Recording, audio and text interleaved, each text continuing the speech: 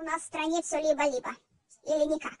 Или содержание с крепостным правом, или разведение социализма. Но без выезда тебе либо у нас все нравится, или ты уже нет, и враг народа. Враг, враг, а потом раз, народный депутат. Или демократия, или колбаса. Или у нас такой за что, что ветер свистит, а, или такая перестройка, что уши и мерзнуть, а в пяткам жарко. Недавно такое дело было. Сосед у себя мыл посуду. Он говорит, очень любит мыть посуду. Я ему верю. И в это время началось землетрясение в районе его квартиры. Его начало трясти, и он опрокинулся в ванну. Его засосало в сливное отверстие и смыло по трубам, как кусок.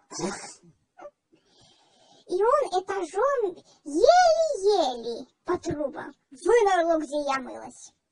Я увидела, что грязный, начала его мыть и выпустила его обратно. Вышла из ванны, ну сразу. Бабушка, ой, у тебя тут какая-то плесень в банке возле кровати, надо перелить.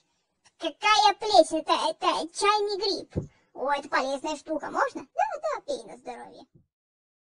Спасибо, бабушка. Ой, или вот это чайный гриб.